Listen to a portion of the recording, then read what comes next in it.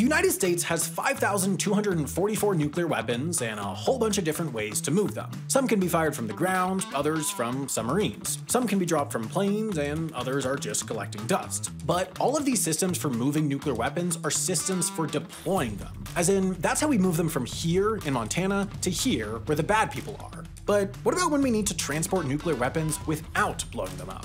Well, it turns out that moving a warhead from one part of the United States to another is like a whole thing.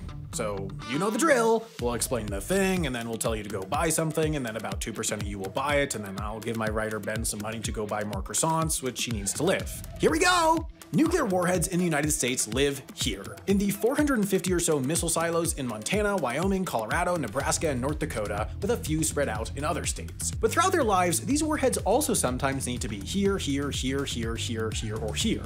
And at this point, you probably have the same question that I did when I started writing this video. Why exactly are we moving nuclear warheads in the first place? It's not like we're using them. This must only happen like every few decades. And you'd be right if you just replaced every few decades with several times a week, which I guess means that you weren't very right at all. The US Department of Energy moves warheads all the time, and it is precisely because we aren't doing anything with them that they have to be moved so often. You see, the delicious plutonium center of every nuclear warhead has an expiration date, a point past which it won't detonate reliably, and the problem is, we don't really know when that expiration date is. So instead of rolling the dice on World War III, the Department of Energy has started the process of recycling and replacing the plutonium in each of these warheads, and that means bringing them from their silos to one of these locations for disassembly, reassembly, maintenance, or testing. But the question is, how do you get a warhead from here to here safely multiple times a week? Surely we don't just bring a nuclear bomb onto a public interstate highway and...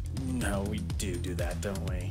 Yes, in fact, here is a map of the interstates that the Department of Energy uses to transport their warheads. But it's not quite that simple because bringing a nuclear bomb onto a public interstate highway requires a carefully coordinated operation that is almost entirely classified, except for the fact that this Department of Energy nuclear warhead transportation training video ended up on YouTube somehow, and now I can tell you exactly how it works.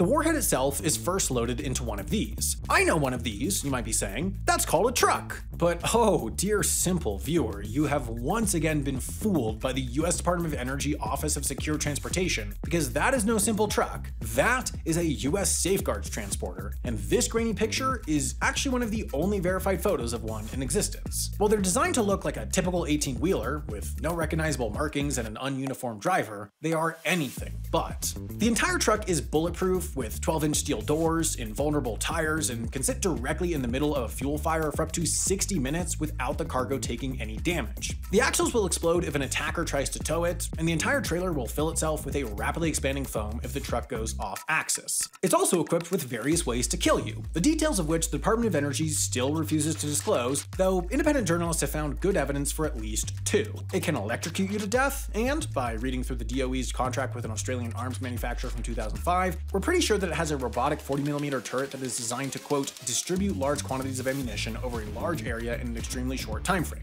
So no, it's not really a truck.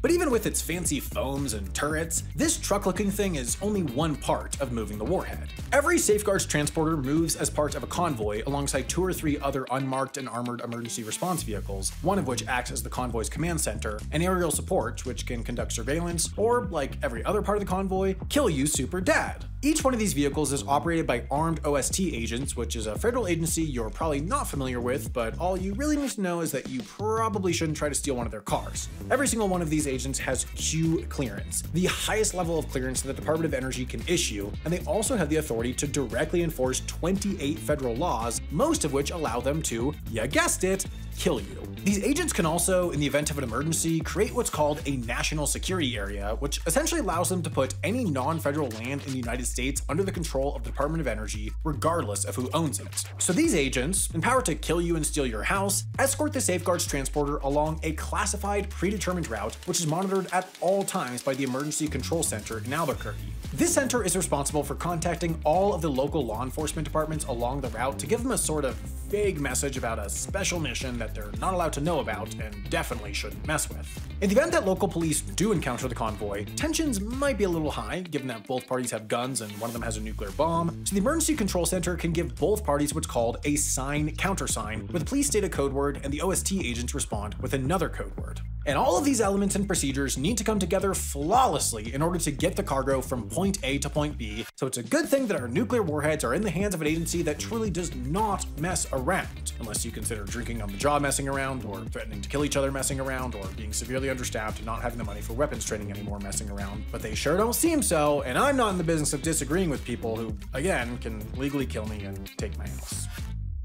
Anyway, it would seem that I have once again written a video that probably wouldn't have been possible if I were not using NordVPN. And it's not just because Nord encrypted and anonymized my internet connection when I was googling how to transport nuclear bomb and how to hijack Department of Energy emergency response vehicle, but also because it enabled me to do a lot of research on sites that I might not otherwise have had access to.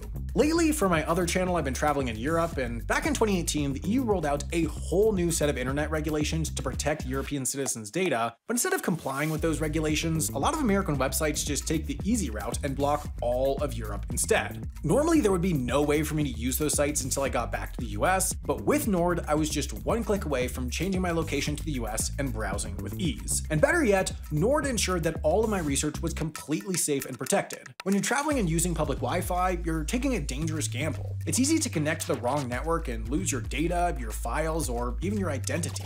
So if you use the internet while you travel, or even anywhere outside of your home, I can't recommend NordVPN enough. By signing up with my link, you'll get a huge discount and you'll also get 4 extra months free with a 2-year subscription. And hey, if you end up not finding any use for it, it's no problem. Nord offers a 30-day money-back guarantee.